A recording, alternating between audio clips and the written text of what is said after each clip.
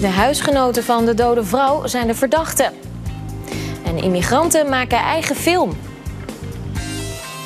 Goedenavond, maandag 12 juni. Dit is Ustad Nieuws. Drie huisgenoten van de Utrechtse vrouw die vorige week dood werd gevonden... zijn verdachten in de zaak. Ze zouden haar in hun hulpeloze toestand niet de juiste hulp hebben geboden. Dat zegt het Openbaar Ministerie. Het lichaam van de vrouw werd donderdag gevonden in een huis aan de Bilitonstraat in Lombok. Ze maakte deel uit van een kleine woongroep die zich bezighoudt met alternatieve leef- en geneeswijzen, geïnspireerd op de natuur. De zon is bijvoorbeeld een hele belangrijke voedingsbron voor de bewoners. Lichtvoeding heet het. En je zou daardoor helemaal niet zoveel hoeven te eten en te drinken.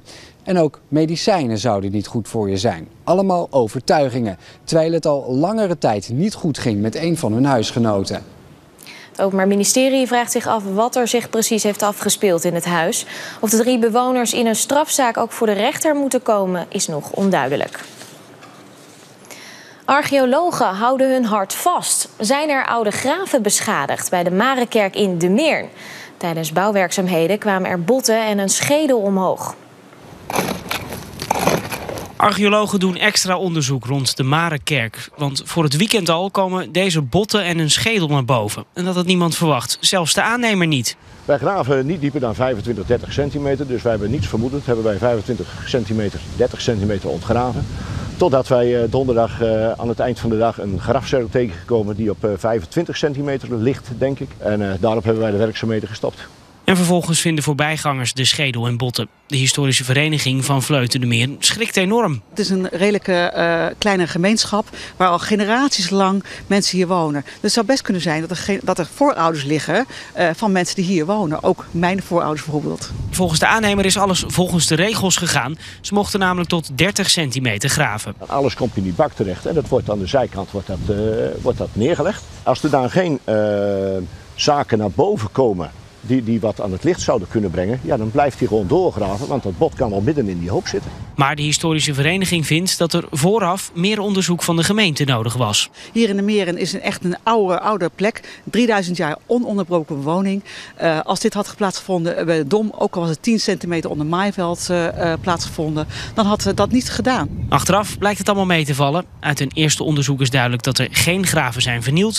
Er is namelijk geen compleet skelet omhoog gekomen. Toch houden archeologen voor de zekerheid de komende tijd een oogje in het zeil. Het staat helemaal onder een archeologisch toezicht. Ja, klopt. Dus uh, er wordt niet zomaar meer gegraven hier? Uh, door ons niet in ieder geval. De gemeente had vooraf geen idee dat ze deze botten zouden vinden. Ze hadden namelijk wel steekproefsgewijs onderzoek gedaan. In een laboratorium op de Uithof onderzoekt de politie de vondst van een dode vrouw. Het lichaam werd vanmorgen rond kwart voor negen gevonden omdat in het lab mogelijk gevaarlijke stoffen waren vrijgekomen, is een deel van het pand ontruimd. Twee mensen zijn voor controle naar het ziekenhuis gebracht. De politie sluit zelfdoding niet uit. Op de A12 zijn vannacht bij een ongeluk drie gewonden gevallen. Bij Harmelen reden twee auto's op elkaar. En dat zorgde voor een flinke ravage op de weg. Een van de wagens vloog in brand. Volgens de politie zijn alle inzittenden naar het ziekenhuis gebracht. De oorzaak wordt nog onderzocht. Holland Casino en de vakbonden zijn weer in gesprek over een nieuwe CAO. Dat bevestigt een woordvoerder van het gokbedrijf vandaag. Holland Casino ligt al maanden overhoop met de vakbonden. In mei waren er meerdere stakingen, waaronder bij de vestiging in Utrecht. Robert Meeuwse uit Nieuwegein heeft samen met Alexander Brouwer de Eredivisie Beachvolleybal Tour in Utrecht gewonnen. In de finale op het Lucas Bolwerk waren zij de sterkste. Ze zijn vaker succesvol, want vorig jaar won hetzelfde duo brons op de Olympische Spelen in Rio de Janeiro. De Prokkelweek start vandaag in de stad. De wat hoor ik u denken?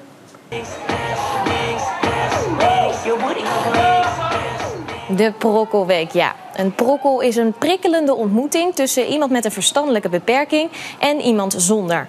Op Sportpark Olympus bij de Uithof organiseerden ze vandaag de Sterrenslag, waar teams uit het hele land tegen elkaar strijden. Niet alleen om te winnen, maar ook om elkaars mogelijkheden te leren kennen. Wat kun jij, wat kan ik, wat kunnen we samen met elkaar? Dus het is echt teambuilding. Nou, daar gaat het om. En ja, dat je dus gaat kijken, niet wat mensen niet kunnen, maar wat mensen wel kunnen. Nou, dat is het ultieme doel van, uh, van deze Brokkelsterrenslag.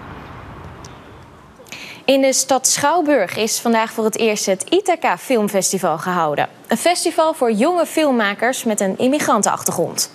Ik heb gefilmd en de geluid. Ik was de cameraman en ja, dat heb ik gedaan. Eh, en acteur. Deze leerlingen van Ithaca, een school met internationale schakelklassen, hebben met elkaar films gemaakt. De leerlingen zijn jonge immigranten die nog maar kort in Nederland wonen. Het grootste deel is natuurlijk op dit moment Syriërs. Uh, maar je hebt ook uh, Amerikanen en uit Oost-Europa en waar dan ook vandaan. Uh, dan moet je gewoon eerst naar deze school. volg je één of twee jaar onderwijs en dan stroom je door naar het reguliere onderwijs. De leerlingen hebben het script en de onderwerpen van de films zelf bedacht.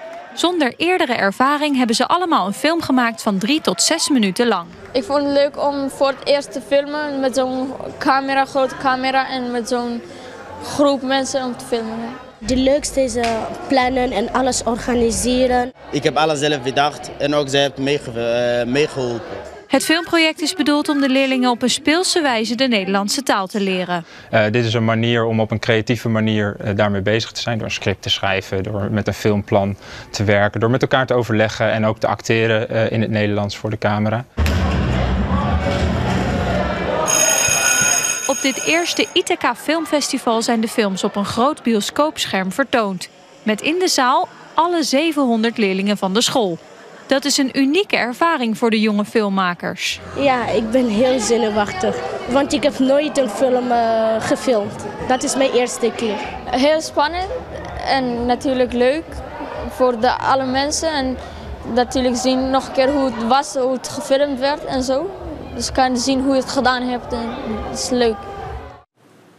Dan gaan we naar de uittips voor onze stad. Nog maar twee weken kunt u in de magische wereld van Harry Potter duiken. Want tot uh, dan staat de reizende tentoonstelling bij de Cinemac Bioscoop. U kunt decors uh, uit de film zien en de bekende voorspellende toverhoed opzetten. En in het stad Schouwburg staat de musical Siske de Rat zes avonden op het podium. Danny de Munk speelt er zelf ook in, maar dan als de volwassen Siske. Krijgt u nog het weer? Vanavond en vannacht bewolkt. Het wordt 12 graden. Morgen wisselen de zon en de wolken elkaar af en het wordt maximaal 20 graden. Tot zover. Morgen zijn we weer met een nieuwe Ustad Nieuws. Graag tot dan.